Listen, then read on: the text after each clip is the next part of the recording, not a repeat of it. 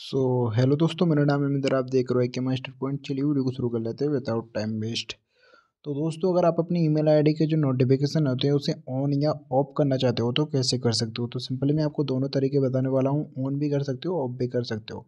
तो सिंपली आपको क्या करना है भाई? जी एप्लीकेशन ओपन कर लेना है। जी एप्लीकेशन ओपन करने के बाद आपको यहाँ पर सबसे पहली बात तो ये है कि अगर आपका नोटिफिकेशन नहीं आ रहा तो क्या कर सकते हो?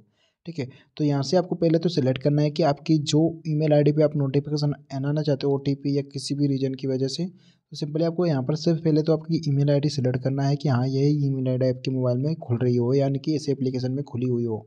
ठीक है? लॉग आउट में यहाँ पर लॉग इन में ये वही ईमेल आईडी होनी चाहिए, यहाँ से आप चेक कर सकते हो, वो चेंज भी कर सकते हो। ठीक है? ये काम होने के बाद आपको सिंपली क्या करना है, अपनी इस एप्लीकेशन पर होल्ड क्लिक करके रखना है। यहाँ पर आपको ऐप इन्फॉर्मेशन का एक ऑप्शन मिलेगा सिंपली उस पर क्लिक कर देना है। जब भी उस पर क्लिक करोगे तो यहाँ पर आपको मैनेज नोटिफिकेशन का एक ऑप्शन मिलेगा। सिंपली उस पर क्लिक करना है। तो यहाँ पर आपको अलाउ नोटिफिकेशन होगा। तो सिंपली आपको अलाउ नोटिफिकेशन कर देना है। इससे क्या होगा कि आपके जो नोटिफिकेशन होंगे ना, वो आने लगेंगे। तो जैसे कि अगर आप नोटिफिकेशन की डिटेल्स को लॉक करना चाहते हो तो सिंपली आप यहाँ पर कर सकते हो। तो वो छोड़िए, फालतू की बात है।